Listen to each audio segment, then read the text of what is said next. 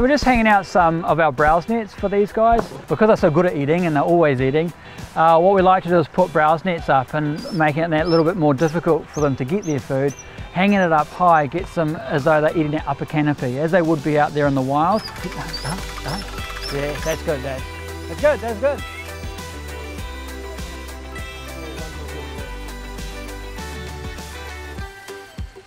The muscles it takes to use the trunk and to hold her head up like that. The head alone weighs just over a thousand kilos, so if you think about that, having to hold that up and, and to reach up that sort of height, it's all really good um, ways to um, get these muscles working how they should be.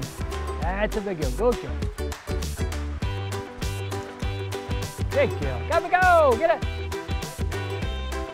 I'm Andrew Coers, very privileged to be one of uh, six people that get to look after these amazing uh, animals.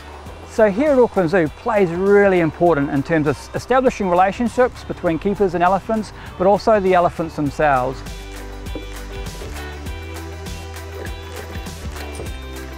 And what's quite interesting with the two elephants is that they feed off each other. And so when Anjalee gets super excited, because she's a younger elephant, play comes that much more easier for her, but she does bring the play out in Burma.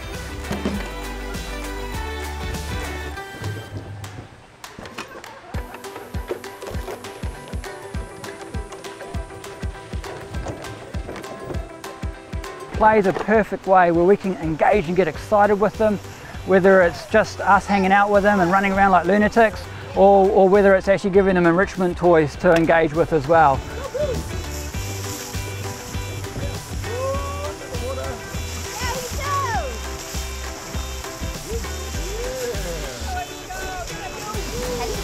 It's really important for us to get these guys really moving around their habitat having a good time, utilising all the furniture, the pool, the logs, all the things that you see.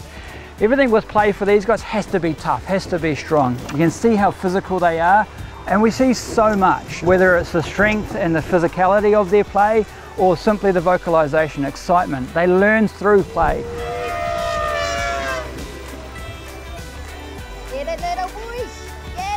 Once an elephant gets wet, the next thing they want to do is to get dirty again. That's really important because these guys do get sunburn and by chucking that sand on their back it protects them from the sun and that harmful UV rays.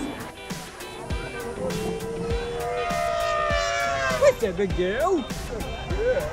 So the benefit of training these guys is there's numerous different behaviours that help us um, look after them. These guys are really good, like most animals, at shielding their health problems. They don't want to get detected by predators. So things like getting their trunk up, opening up their mouth, checking their teeth out. Good girl, pretty teeth. Good.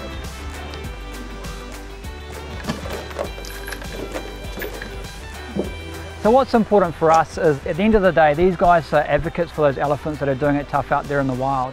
And so we take advantage of that by talking to our visitors about some of the issues facing wild elephants. And by our amazing visitors coming to see us here at the zoo, it allows us to support some pretty amazing people out there, our conservation partners like the Centre for Conservation Research, but also the Biodiversity Elephant Conservation Trust.